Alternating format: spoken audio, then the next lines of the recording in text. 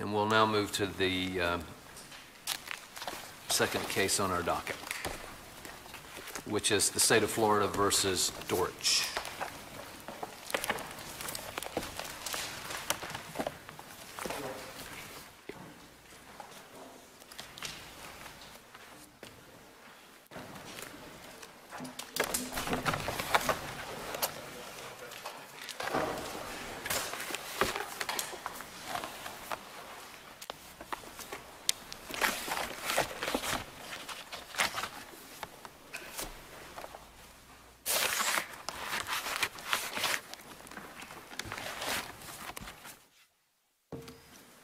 Just give us a second here.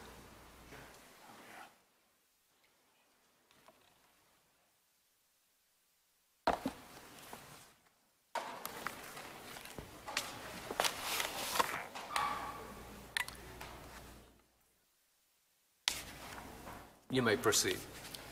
Thank you, Your Honor. Joseph D. Coronado, Junior uh, Assistant Attorney General on behalf of the state.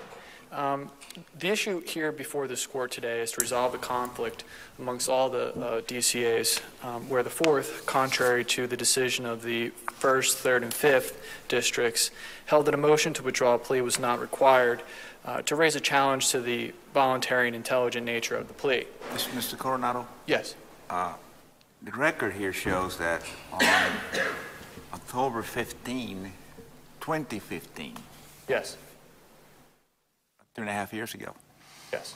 uh, counsel raised the competency to proceed of Mr. Dortch. Yes, Judge, if if you look at that, I, I understand, just stay with me for a second, all right? He pled guilty or nolo in 2016. correct. So as of this date, Mr. uh, Coronado, Mr. I'm sorry, Mr. Dortch has been in prison, has been behind bars for almost three and a half years. And as we stand here today, there has not been a judicial determination that he is competent to proceed. Am I correct? Correct. A judicial determination that he's not competent. So as, as he sits in prison today, he is deemed to be not competent to proceed. I disagree with that, Judge. How is that? Well, he was never, there was never an adjudication of incompetence, yes, but there was also never necessarily a request for a hearing in that sense. If you We looked, have, if we you have looked at the ruled, motion. we have ruled repeatedly that merely raising the question of incompetent to proceed is sufficient to force the proceedings to stop until he or she is determined to be competent to proceed. So once it, once on October 15, 2015, it was determined, it was requested there be a, that, uh, that, that counsel be eval, that Mr. Dortch be evaluated for competency. As of that date, he was incompetent to proceed until he was determined to be competent. An examination was requested, but if you look at the actual motion, and, and the motion is really, uh, I mean, ultra bare bones. I mean, it, it doesn't say anything, there was no observations on part of defense counsel. Um, there was no observations in the order that followed from the judge. I mean, it was really just simply uh, four lines, of which uh, they cited the rule 3.210B, but, but nothing more. And he waived the 20-day requirement for a hearing. And that's significant because if you look at the actual order that the trial judge issues uh, a few days later, there's no mention of any rule, only the findings that the examining doctor could have made or, or should make in, in his actual report that he's rendering. So we don't really, and, and if actually the language that's contained within that order, it kind of implies that there's other reasons, not necessarily just to determine his competency for the whole court to determine, but really to determine, you, know, what's the relationship going on between the defendant Well, and his so counsel. If I, if I understand you correctly, defense counsel came in Correct. on October 15, said, Your Honor, I'm requesting that my client be evaluated, that you appoint a psychologist or whoever Yes. to evaluate my client to see whether or not he is competent to proceed. That, you're saying, is not sufficient. Yes and no. Yes, in the sense that he Well, has to follow, the- he, he, it's, it's kind of tough. Yes, in the sense that he has to follow the, the motion, right, and he did follow a motion, but he made no observations, so we don't really know what was wrong with the defendant at that particular point in time. There was no, you know, oh, he's, uh, d- making this type of action, that type of action, that leads me as defense counsel to believe that, that he was actually incompetent. And there were no reasonable grounds that were actually justifying that motion that were mentioned in that, nor uh-huh. was the word reasonable ground or anything else of that matter mentioned in the, in the trial court's order, which is why the motion to withdraw plea is so important in this particular situation, because that gives us, being appellate lawyers, the opportunity to review it, and a court like yourselves, uh, to determine what is going on, to actually get into that moment in time and see what is happening. We don't have that here. We don't have anything. All we have is this bare bone motion and really a bare bones order waiving the actual hearing and any. uh, There's plenty of other reasons that, that, that, the, that the trial court court of order it. There's, there's other rules, 3.216, which allows them to raise it as a def, uh, uh, confidentially between the defense counsel and his client to determine whether there's possible any insanity defenses or other things of that nature that could be happening here. Now, can you, can you think of anything more fundamental than a criminal defendant being competent to enter a guilty plea that's going to result in him going to prison? Obviously, yes, there, there is, that is a very fundamental right, but that's kind of the point of a plea hearing. I mean, here we have a full colloquy by the trial court. I mean, the trial judge sat, evaluated the defendant, there was a complete interaction amongst the two of them. I mean, the defendant was here requesting this open plea. I mean, he was, he was adamant that he wanted to plea, that this was what going on. They had, I mean, at the, obviously, the, the plea transcript is quite, quite at length between the two of them. He he was represented at the time of the plea He was represented by multiple defense counsels, yes.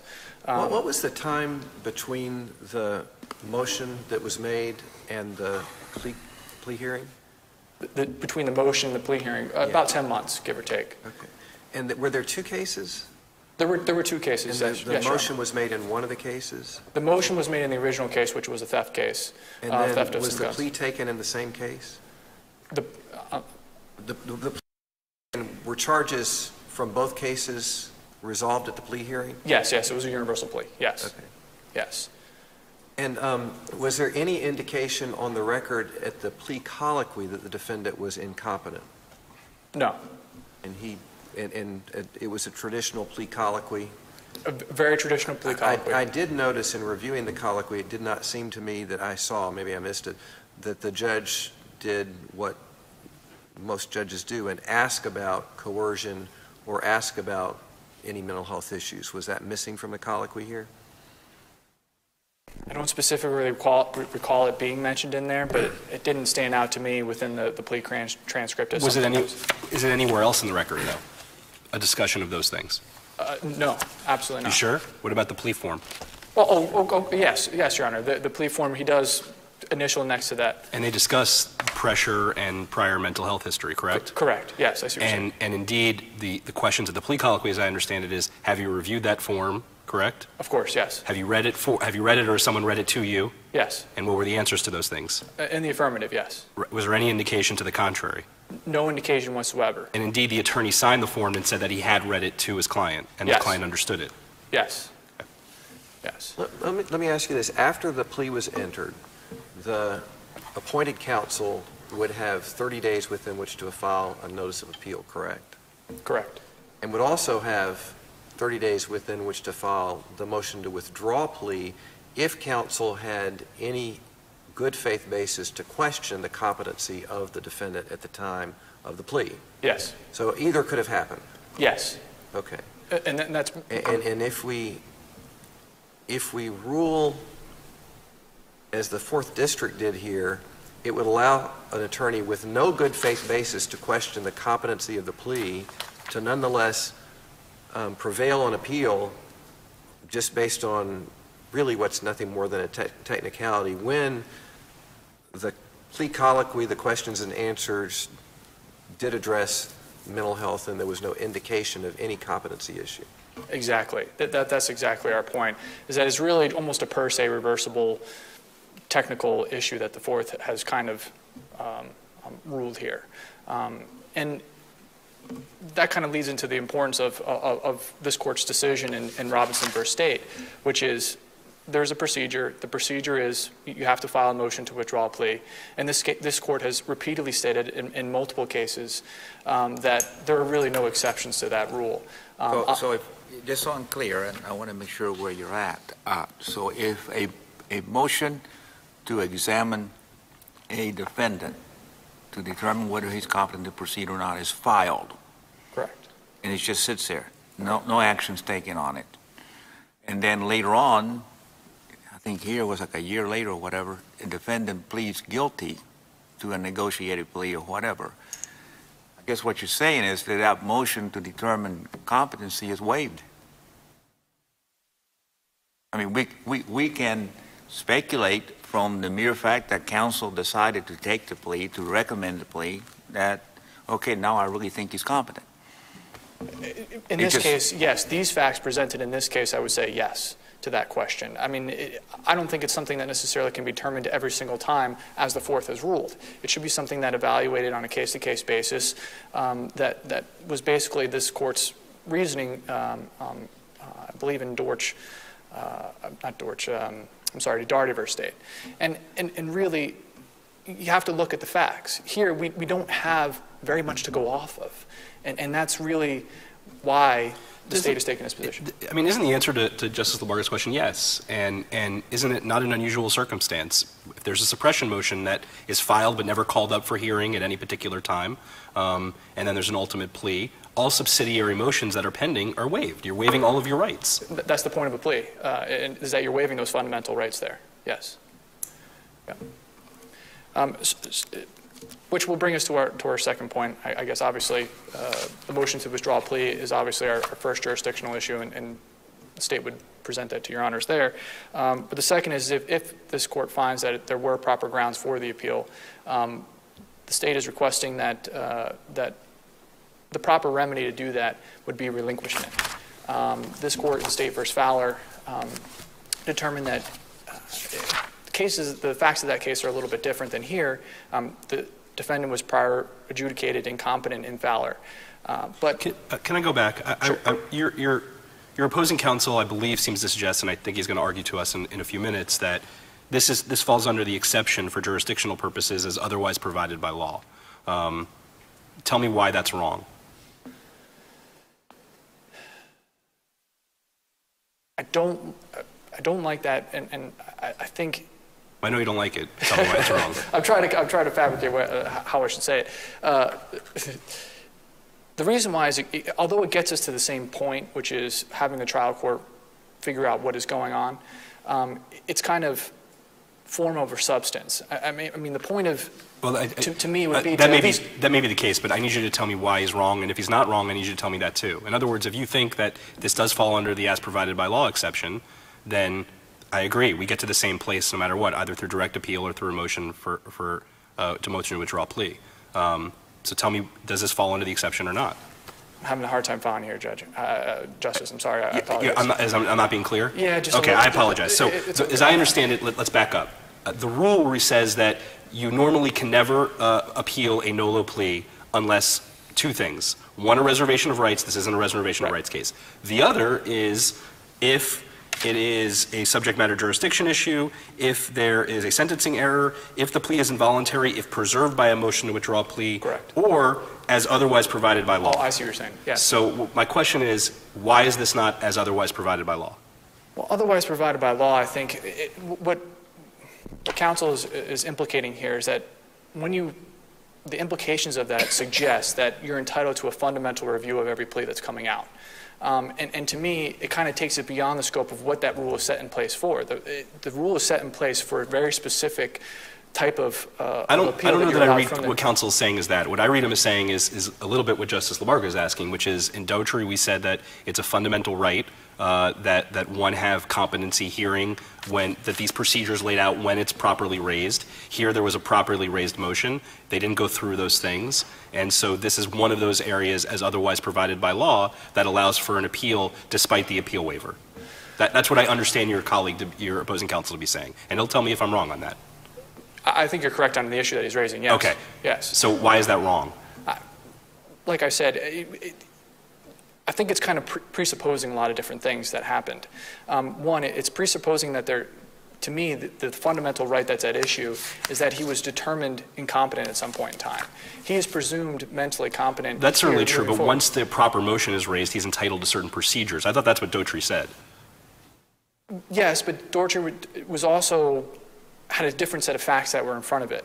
That's true. It, it had a, he was a prior, priorly adjudicated incompetent. This was mostly about restoring his, his, his competence therefrom. So, so I, I think that is almost not really applicable in this particular case because we don't have that prior adjudication of incompetence. Really, what we have going on here is, it's almost a question as to whether or not I need to raise that issue. That's what, to me, the facts in this case are presenting. Whether is there a relationship issue between defense counsel and, and the defendant? Um, is there another way that we're raising this on, on behalf of defense? So, so we're kind of getting to that point, but a little bit too soon. It really requires a look at what was actually presented to the court here. Well, I, I don't know that I disagree with you that it would be best to have a factual laying out of these things. That's, that's your point. Right. But I, I guess my point is, you've made a jurisdiction, you said this is a jurisdictional bar. Yes. That, the only way you win that argument is if this is not as otherwise provided by law. Um, and. What are some other examples of what the otherwise provided by law might be referring to? I mean, I guess it's tough to pretty, to, to per se say exactly what that would be. Uh, I mean, I'm not quite sure how to answer that question. Uh, otherwise provided by law, I mean, it's kind of a catch-all phrase. Uh, I don't necessarily know anything that's ringing off the top of my head to, to, Well, to suggest let's, to let's look at some examples. In Novaton, we seem to suggest, even though I don't know that we quite said it this way, that double jeopardy violations are something that can be brought up, right? Correct. Okay. That's, that's a, a Sure, constitutional right, A double jeopardy violation, right? sure. So is this of the, is this of the nature of that? I, I don't see it being that far. What about in TG? And TG said the deprivation of counsel for a juvenile is something as otherwise provided by law, right? Right, but there you had, you had an issue in terms of being, um, um, in terms of being counseled by, by uh, a juvenile being counseled by um, uh, um, his, a juvenile being counseled, period. Uh, And that, I think, raises a completely separate, different, uh, completely and utterly different set of facts. Is someone who's potentially not competent to make these sorts of decisions not the equivalent of someone who's not represented by counsel, or a juvenile is not represented by counsel? Well, it's more of a proper waiver of that particular issue. You know, whether, whether the court led a, a proper factual basis in order to, for, for that counsel to make an, for that defendant, in this case a juvenile, to make an informed decision of whether to discharge his counsel or not. Um, and I think juveniles are different, period. Um, and TG, this court even said that this was a very, very limited exception that they were creating there. Um, and, and affirmed that Robinson was what this court wanted to hold moving forward. Um, so, hope that answered your question. best that Counsel, you are now into your rebuttal time. Thank you, Your can- Honor. Okay.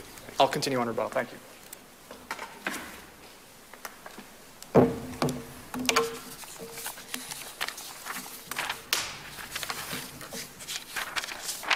Your Honors, Benjamin Eisenberg on behalf of the respondent, Vernson Dortch.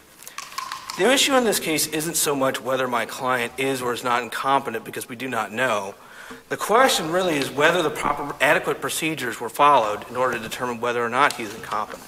That is a notion that has date back decades earlier to the United States Supreme Court's decisions in both Pate versus Robinson and Drope versus Missouri, where the U.S. Supreme Court said the failure to observe procedures adequate to protect a defendant's right not to be tried and convicted while incompetent to stand trial deprives him of his due process right to a fair trial. This court recognized as much when it decided Dougherty. In Dougherty, this, trial, this court held quite clearly a trial court's failure to observe the procedures outlined in Florida Rules of Criminal Procedure 3.210 to 3.212 deprives the defendant of his due process right to a fair trial. That doesn't really answer the question, though, um, because we have something else at play here. Um, but I, I want to ask, before I go there, I want to ask you this. You seem to suggest, correct me if I'm wrong, but I, you seem to suggest that f- if it's a fundamental error, that is something that is reviewable under the as provided by law standard, correct? Well, I, with a certain limitation that yes, fundamental errors, I believe, are uh, can be raised in that uh, in, under that subsection, so long as they are done contemporary is an issue that pertains contemporaneously with the plea. That's what the decision in Robinson said. Say once a defendant enters a plea of guilty, the only points available for an appeal concern actions that took place contemporaneously with the plea. Right, so that would go, in this case, to the voluntariness of the plea, correct? Not to the voluntariness, to whether or not due process was followed. The problem in this case is that you have a motion filed by defense counsel. Whether or not the specifics on it were that much is probably due to attorney-client privilege. But if you, one is not competent, one cannot voluntarily plead guilty, correct? That's the whole point. That's why, as Justice Lawson said, it's very common in plea colloquies for a judge to conduct a competency inquiry to make sure that it's a voluntary plea. I know my own colloquies, I would always say that a defendant is voluntarily, then is competent to proceed and is voluntarily, intelligently, and knowingly entering to a plea. You'd make those findings. I agree that it impinges on voluntariness but it, and intelligentness, but it also impinged on whether or not someone has a, a legal ability to enter into an agreement. Because a plea, as, as this court recognized a while ago, and as the U.S. Supreme Court recognized in Boykin versus Alabama, it is more than just a confession. It is basically there's nothing left to be due. Well, that, it's, that's the same thing for coercion, though. If someone is coerced into a plea, they obviously are not doing it of their own free will, and that also raises serious due process concerns, but it goes to voluntariness, right?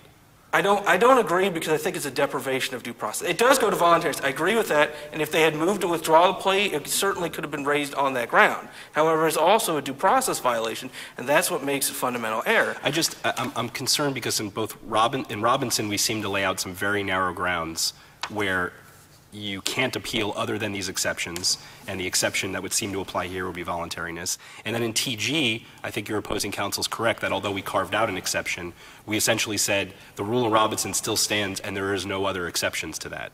Um, Where, where does that leave us? Well, yes, Justice Luck, the rule of Robinson does stand, and in State. TG, the rule of Robinson applied, but there was a reversal because the error was fundamental. But the court was very careful to note, quote, "We again emphasize that in all other cases involving a challenge to the voluntariness of the plea," and I'm omitting a few things here, "the procedure of Robinson should be followed."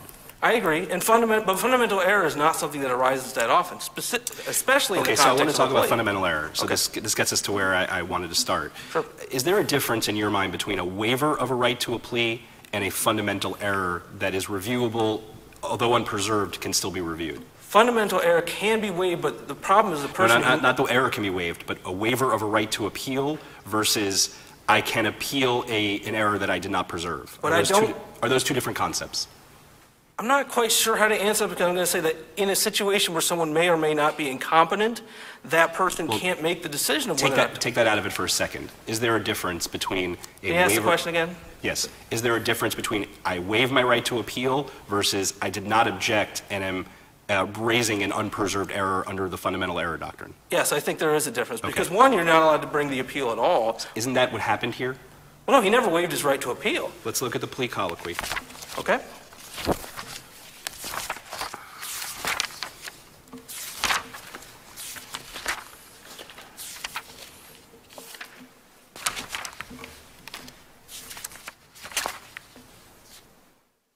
Uh, Page 12 of the P colloquy, 87 of the, of the, uh, of the record.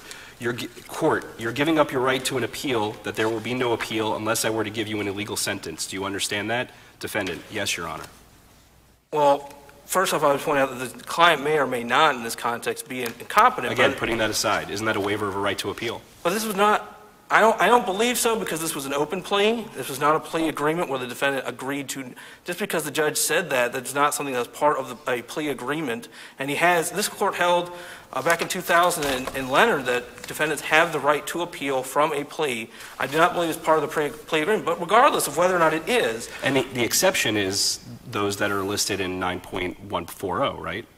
Well, I agree, but as, as the U.S. Supreme Court held in Pate versus Robinson decades ago, there the state made a similar argument. The defendant had waived his ability to have a competency hearing. And the U.S. Supreme Court said, quoting from Pate versus Robinson, it is contrary to argue that a defendant may be incompetent and yet knowingly or intelligently waive his right to have the court determine his competency to stand trial. And the same issue applies here. Here you have a defense attorney who, after speaking with the defendant, after observing his mannerisms, has determined that the defendant, there's something to cause the defense attorney to believe that that person is incompetent.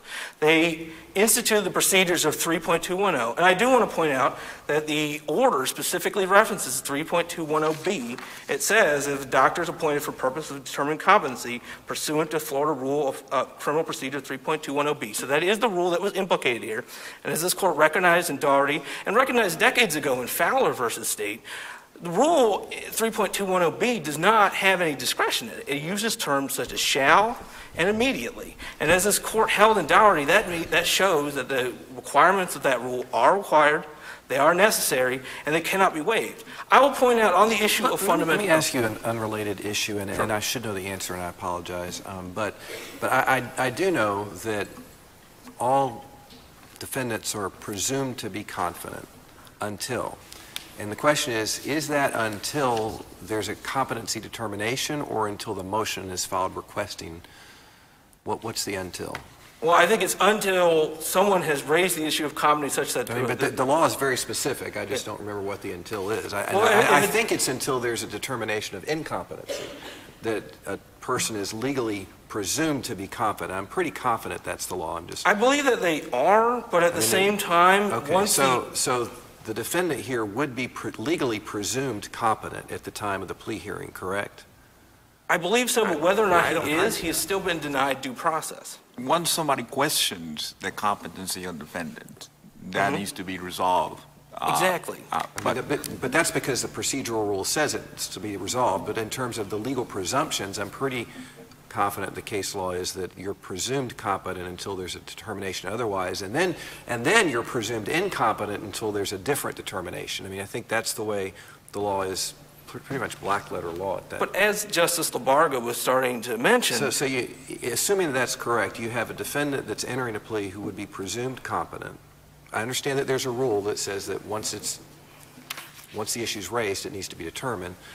You also have appointed counsel who would have a, a, a duty to raise competency if he had any basis to believe that the defendant was incompetent, And he correct? did.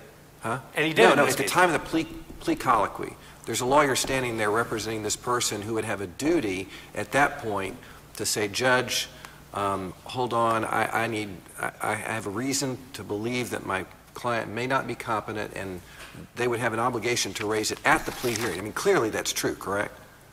Correct, however, they've already Okay, challenged And then you the have a judge that has a legal obligation to stop everything if the judge during the plea colloquy has any indication that the person isn't competent, correct? And the trial judge, in this case, did enter an order to determine competency because one of the parties, that is defense counsel, felt that there were reasons to I'm, I'm talking about what's going on at the, the plea hearing and the protections, other than the rule, that are there to assure that a person who really is incompetent at the time of plea has all the protections. That we have a presumption, but we also have an attorney and a judge who are duty-bound by law to raise the issue at that hearing if there's any reason to believe that the person is not competent, correct? Well, they were duty-bound to follow the rules set forth by 3.210. Okay, that's a different question, I understand that.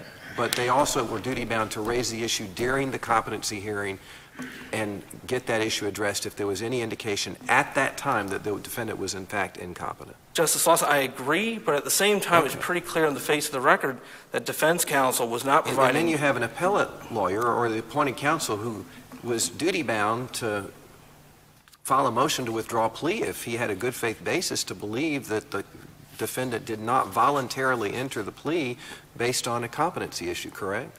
Well, well, no, Your Honor, because the problem is, and as the Fourth District Court of Appeal it indicated, by the time it gets to an appellate lawyer, which is, as you mentioned, I would not be able to move to withdraw the plea because the time to file a motion to withdraw a plea pro- Who files a notice of appeal? the trial counsel. Right. Well, you mentioned appellate counsel. No, I- no, I uh, said had, had an appointed counsel. Oh, appointed counsel. Oh, I thought you said appellate counsel. Okay. Yes, the trial counsel should have, but the trial counsel in this case was also of the belief that the Rule 3.210 procedures could be you- waived. Could you, if you had a a reasonable basis to question the competency of your client at the time of the plea, could you as appellate counsel have asked to relinquish jurisdiction to have the issue, to file a motion to withdraw plea? I know, Your Honor, because at that time it would be time barred, and the problem as recognized by the Fourth District Court of Appeal would be the only remedy at that point would be for the defendant who may be, and may, may have been and may still be incompetent, to file a 3850 motion on his own because you're not entitled to counsel on a post-conviction motion. And that's the problem that goes on in this case. We have a defense counsel who, from the get-go, waived the procedures of 3.210 after saying that the defendant had met the had met the uh, standards for potentially being incompetent. And the error that happened in this case is, quite frankly, far more egregious than what occurred in Dougherty. And there, you at least had three competency evaluations that came back that the defendant was competent, and trial court stipulated that he was competent. But here we have nothing in the record. We don't know if there was even an evaluation because the procedures were not followed. So we have a person who We- may or we- may not. We do have a plea colloquy that's, that is the record, that, that in- would indicate that the defendant was competent at the time he entered the plea. But, we have the but we don't know, because if, because there are issues within competency, and there's a reason that experts are appointed, and there's a reason that the trial judge has to make the determination based on the expert reports, because there are nuances to competency that can not, that may not show itself on the face of a, of a plea, but that- that's why there are mandatory requirements. I will note that in Pate versus Robinson, which was the U.S. I mean, Supreme Court. in- In my experience, there may be close questions when you have someone who has significant mental health issues as to competency, but I, I wouldn't say that in most cases, it's a nuanced question whether someone has the mental capacity to understand the rights that they're giving up. I mean, generally, we trust the ability of a trial judge in a plea colloquy to engage with the person and, and make that determination, as Justice Luck said, before entering the plea. Isn't that? I understand, but in this case, the plea colloquy, as was mentioned during the initial argument, doesn't illustrate any questions regarding competency. Whether or not that's in the plea form, there was no oral colloquy to go through what, we don't have a record.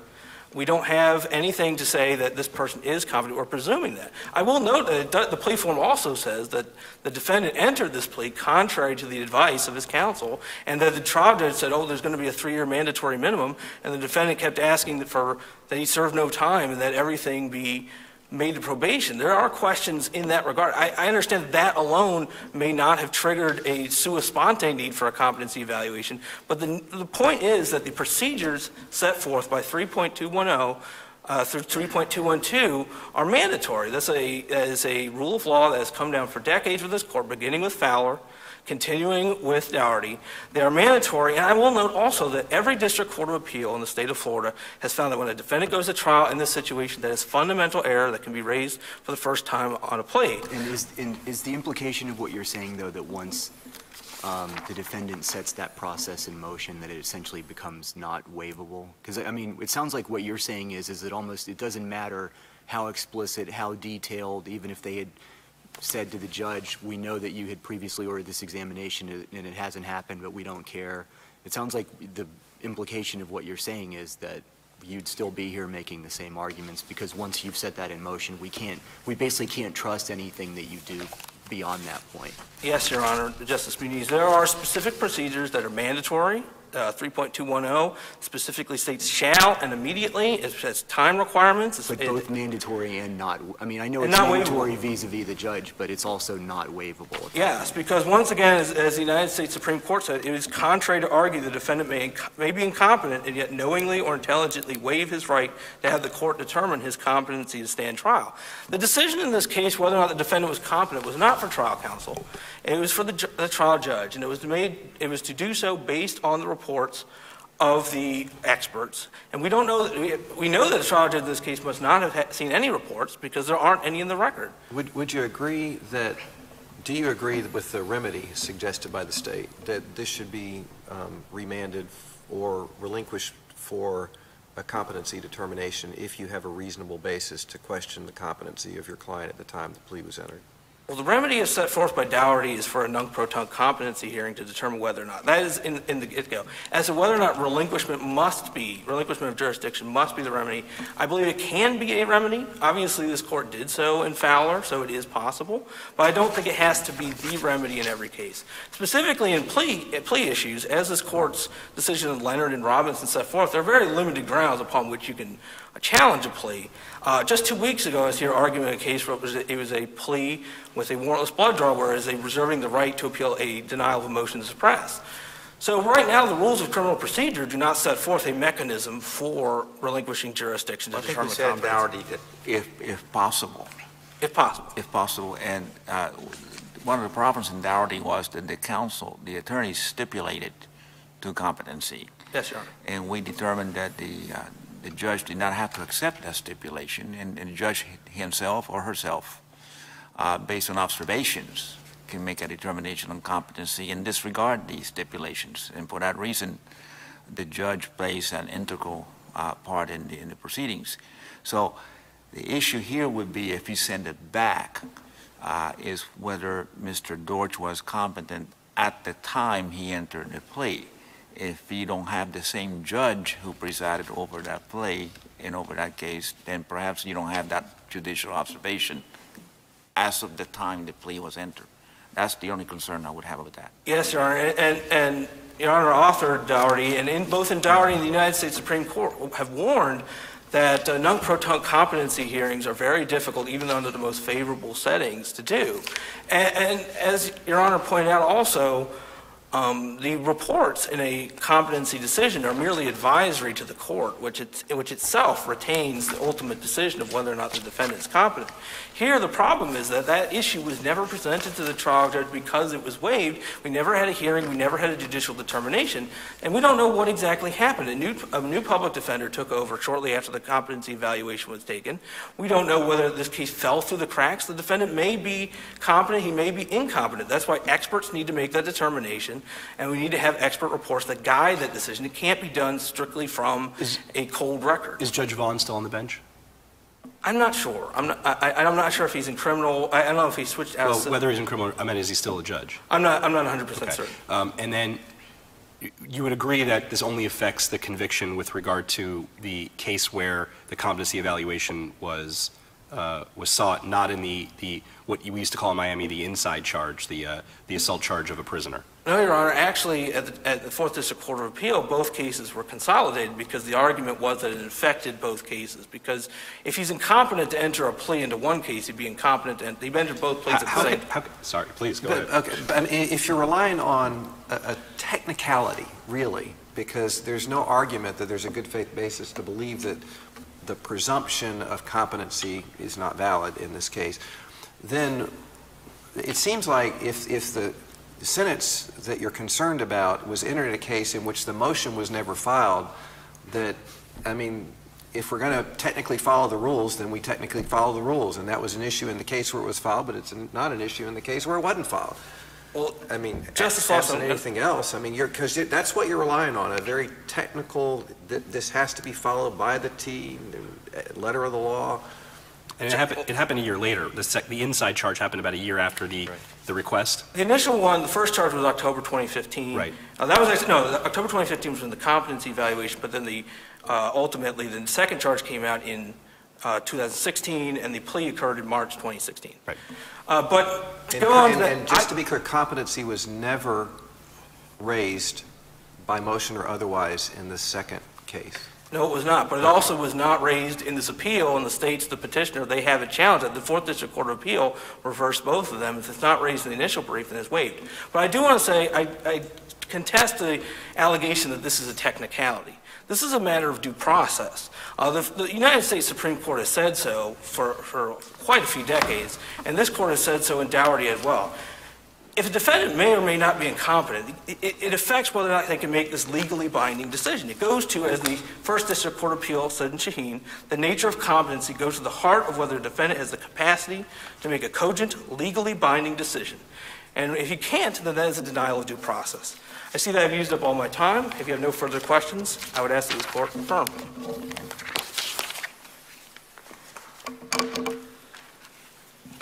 Thank you. I'll be, I'll be very brief. Um, I agree with, with Justice Lawson here and, and Justice Luck that we're presuming a lot. Um, we're kind of getting ahead of the, uh, of the horse here a little bit in the sense that not only are we presuming that he is incompetent when we're talking about what my opposing counsel here is arguing, but we're also presuming that all the attorneys here, now there's not just one defense counsel, there's two defense counsels, two trial lawyers, and a state attorney here, assistant state attorney, who have all dropped the ball in this case, assuming th- that argument stands. I mean, there's plenty of other explanations that we can offer um, as to why the examination was requested by defense counsel. Um, and moving forward, that would be the state's position, that that is why it is so important for the motion to withdraw a plea, so that we can go back and look into what everybody was thinking at that particular point in time. We have no record of that now. The speculation could, could have been resolved quite easily by just holding a hearing or bringing up the issue. And see, that, that, where I come from, in the criminal division, we get two or three of these a week. Sure. And, and uh, no case is allowed to proceed, at least in my courtroom, until that determination is made. So if you are defense counsel and you raise, Judge, uh, I, I asked the court to, to uh, order an evaluation for my client's competency. Just the mere raising that, that rings bells in my head. There's something wrong here. Yeah, And, it- and, and- and uh, whether somebody dropped the ball or whatever, uh, this case proceeded until there was a determination that he was competent. Uh, So that's, that's the problem. And, and that's, it- I think the, that kind of plays into what the holding in State versus, or Robinson versus State was, which if it's presented to the trial court in a motion to withdraw a plea, that trial judge can easily rectify the situation right there on the spot. You know, if this was, if this was uh, an actual issue that they were all working on there, the trial judge at the first point in ca- at at the first point possible could have easily corrected the, the issue, which is another of the state's arguments here. That, you know, we want to put as many things and keep as many things as we possibly can to quickly and efficiently resolve these But why- issues at the trial court. But why put that burden on the defendant when the defendant already raised the motion?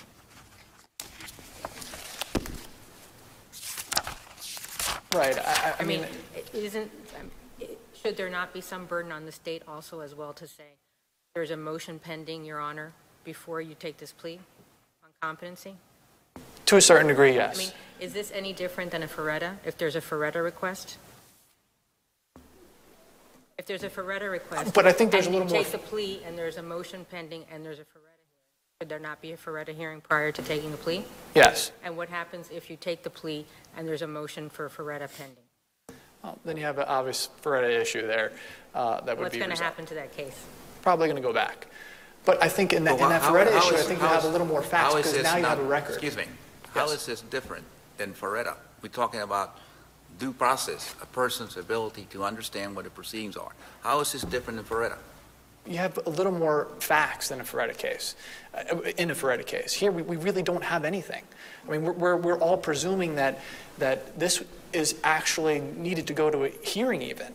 You know, I mean, it, it, this was just a motion for examination. There was no hearing that was requested. So this, that's presuming that the defendant was, you know, having some incompetency issues that weren't properly documented at all during the motion or by the trial court's order.